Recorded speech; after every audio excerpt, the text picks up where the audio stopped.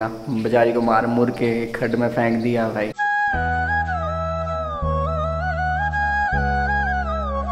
Guys good morning welcome back to my new फ़िलहाल अभी बज रहे हैं सुबह के नौ। तो आज मैंने कैमरा ही भाई तीन चार दिनों के बाद पकड़ा है। कल हम एक डांस वीडियो शूट करना है तो आज हम उसकी लोकेशन देखने जाएँगे। मैंने उषा को बुलाया कि आज 10 से 11 प्रैक्टिस कर लेते हैं, क्योंकि तभी आपको मस्त वाली वीडियो दे पाएँगे। तो इसीलिए जल्दी से चलते हैं, क्योंकि उषा मेरा वेट कर रही होगी। मैंने सोचा मैं ही अकेडमी में लेट पहुँचा हूँ बट उषा मेरे से लेट अभी पाँच दस मिनट शुक्र है, वरना अदरवाइज़ मैं हमेशा, मैं ही लेट होता हूँ तो आज वो लेट है। वैसे मैंने उसको कॉल किया अभी अभी तो निकल गई है घर से तो उसका वेट करती है। आजकल जैसे ही फ़ोन या इंस्टाग्राम या कुछ भी हम ओपन कर रहे हैं, उसमें यही आ रहा है।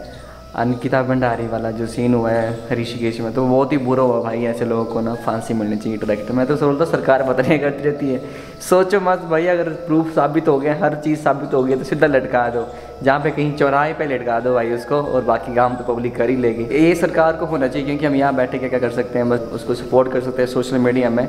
तो ये थोड़े रूल्स सरकार को थोड़े स्ट्रॉन्ग करने चाहिए। वो भी अपने घर से भाई पैसा कमाने के लिए निकली, जैसे हम निकले हैं, वैसे वही निकली थी। और उसी के साथ इतना गंदा काम हो गया। बेचारी को मार मुर के, खड्ड में फेंक दिया भाई। लास्ट में यही बोलता हूँ, इस लड़की के घर वालों को थोड़ा इंसाफ मिलना चाहिए।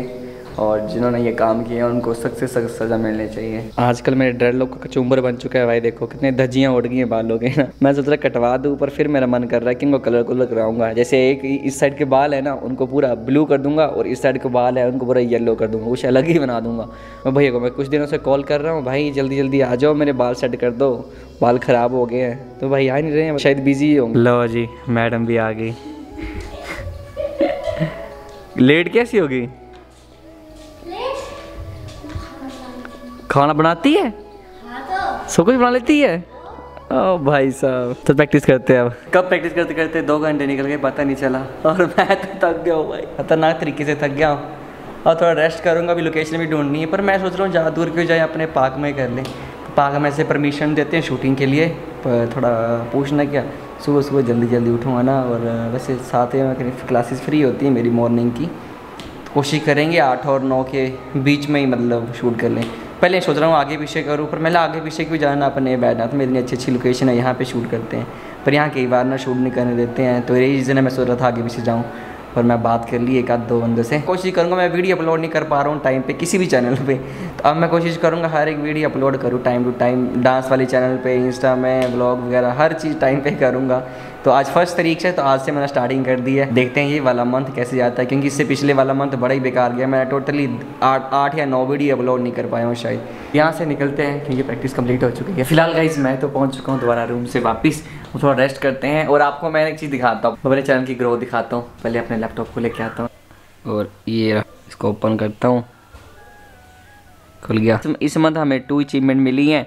फ़र्स्ट हमने एक हज़ार घंटा पूरा किया दूसरा हमने तीस हज़ार व्यू टोटल गेन किए हैं। तो लिखा है your video is are getting so much interesting and play so YouTube ने हमारी वीडियो को अड़तालीस हज़ार लोगों के पास भेजा उनमें से देखते बड़े कम मैं सेवन परसेंट ही देखते हैं। मतलब अड़तालीस का सेवन परसेंट इतना कम होगा, बस व्यूज़ कम मिलेंगे। एवरेज मतलब हमारी वीडियो है, सबसे सबसे मतलब ओनली दो मिनट ही देखते हैं। और इसको बोलते हैं क्लिक वेट करना। मतलब जितना अच्छा थमनेल होगा ना, उतने ही लोग आपके थमनेल पे क्लिक करेंगे। तो हमारा थमनेल इतना बेकार होता है कि सेवन परसेंट लोग ही करते हैं। इस महीने की बात अच्छी हुई है, अट्ठाईस दिनों में हमारे एक सौ सोलह सब्सक्राइबर बढ़ गए हैं। अब तक के ये सबसे बेस्ट मतलब अब तक की जितनी वीडियो अपलोड की हैं, सबसे ज़्यादा मतलब यही है।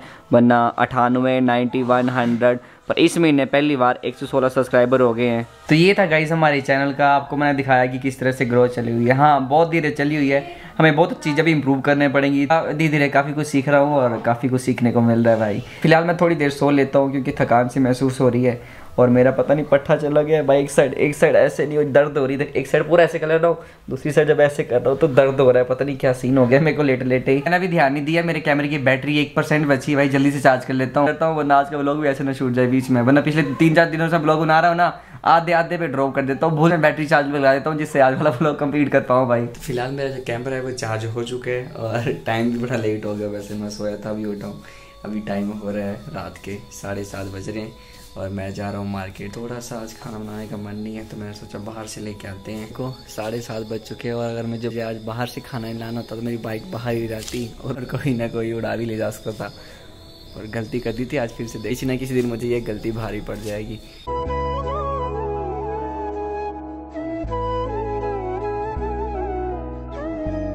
फ़िलहाल यहाँ पे पहुँचते ही मैंने ऑर्डर कर दिया है। दो बर्गर मेरे लिए और दो बर्गर नितिन के लिए। और आज मन भी बर्गर खाने का ही था तो मैं बोला दो दो ले जाते हैं, पेट भर जाएगा। जैसे ही मैं सामान लेके बाहर निकला तो बाहर ये सांड खड़ा था और इसको हो गया है वो आजकल चला हुआ है लिपी रोग और इसकी कंडीशन इतनी ख़राब थी ना। देखा गाइस कितनी बुरी हालत हो गई है बेचारों की। आजकल सभी गाय, बछड़े, सांड, सूंड की यही हालत हो रही है लिपि रोग हो रहा है। सभी बचा भी करे अपना। आजकल पता नहीं कितनी खतरनाक खतरनाक बीमारी और ये पहले कोरोना ने इतना लोगों को मारा, अब बेचारे पशुओं पशुओं की बारी आ गई, अब लिपि रोग भाई, ये हो क्या रहा है? पता नहीं पिछले एक दो वीक से मेरा मन सा उदास रह रहा है, ये पता नहीं क्या सीन है। मैं मतलब मैं ये ये, मेरे को ये नहीं पता चल रहा है क्यों उदास है। बस ये सैड सा रहता हूँ मतलब तीन चार दिन हो गए। हाँ मैं ये नहीं बोल रहा कि मेरे साथ कुछ ऐसा हुआ है कि मैं सैड रहूँ पर ऐसा मतलब हो रहा है कि मतलब कुछ परेशान सा हूँ, पर पता नहीं किस बात के लिए मुझे खुद ही नहीं पता है। जैसे जब से मैं बीमार पड़ा हूँ, तब से ये सीन हो रहा है। तो फ़िलहाल यहीं पे लेते हैं अलविदा।